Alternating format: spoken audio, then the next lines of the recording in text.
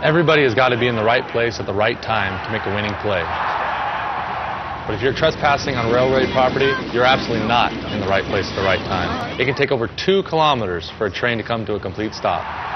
Out on the field, we know how to take a hit and keep on running. But putting yourself on railroad property can result in serious injury or even death. So remember, railway property is not the right place to be. If you want to be safe, play smart.